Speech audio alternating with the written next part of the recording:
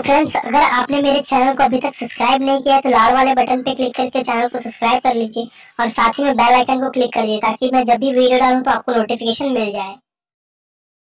Hello नमस्ते, मैं हूँ अभिषेक और आप देख रहे हैं अभी टेक गुरु जी दोस्तों, आज की इस वीडियो में हम बात करेंगे जियो से रिलेटेड जी हाँ जियो का एक और न्यूज़ निकल के सामने आया है तो प्लीज़ वीडियो को अंत तक देखना, आपको भी पता चल जाएगा कि वो न्यूज़ क्या है।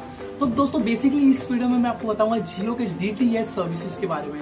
जी हाँ जियो का डीटीएच लीक होके आ चुका है या फिर उसका बोल सकते हैं जो उसका एस टी सेटअप बॉक्स है, वो निकल के या फिर उसके कुछ इमेजेस लीक होके बाहर आ चुके हैं, जैसे कि आप देख सकेंगे स्क्रीन पे।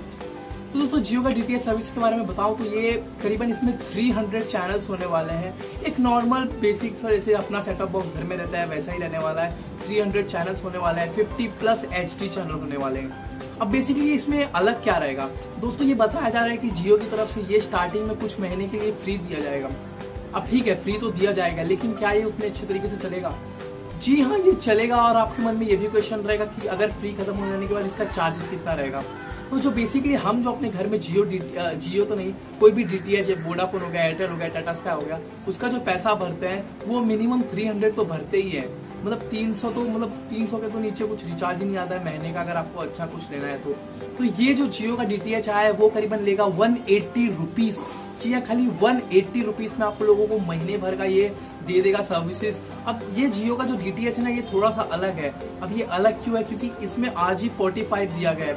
अब आर जी से क्या होगा कि आप अपने इंटरनेट को, जी हाँ इंटरनेट को आप अपने टीवी में लाइव स्ट्रीम से कुछ भी देख सकते हैं। यानी कि वो जो जियो का डीटीएच या फिर बोल सकते हैं जियो का जो सेटअप बॉक्स है, उसमें आप लगा सकेंगे ब्रॉडबैंड कनेक्शन इथरनेट पोर्ट उसमें दिया गया है। क्योंकि रिलायंस जियो अपना एक ब्रॉडबैंड सर्विस भी लाने जा रहा है तो इसमें बताया जा रहा है कि वो ब्रॉडबैंड सर्विसेज़ को जियो के डीटीएच में लगाया जाएगा और वो एक जीबीपीएस की स्पीड से काम करेगा, यानी कि एक जीबीपीएस की स्पीड से आप आपके अपने सेटअप बॉक्स में लाइव स्ट्रीम कर सकेंगे अपने टीवी में या फिर कहीं भी।